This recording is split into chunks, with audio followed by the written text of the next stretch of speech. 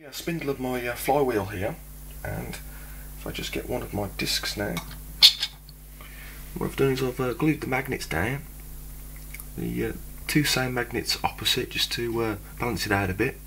So it goes uh, north, south, north, south, north, south. And I'm just going to put a bit of super glue all around the top areas and place this on top and then screw it down so it's nice uh, fixed firmly. Microwave coil from the motor with an LED on it. These are nice and firmly sandwiched in between there.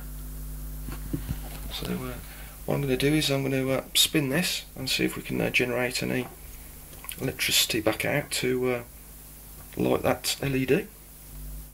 So now with the uh, coil from a microwave, so if I spin that up, you can see the lights coming on. That's great then.